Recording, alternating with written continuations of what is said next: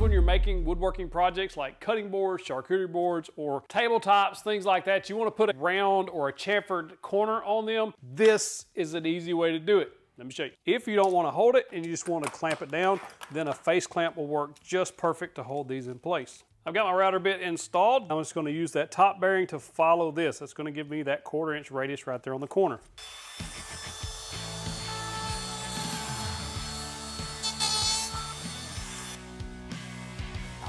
Man, that worked perfect, perfect. So what if we wanted a bigger radius? We're gonna throw a one inch in there. I'm just gonna hold it this time and see how that works.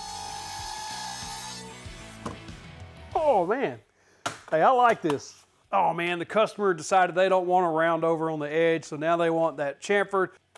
Just pull that out, pop the one inch chamfer in. Let's run this through.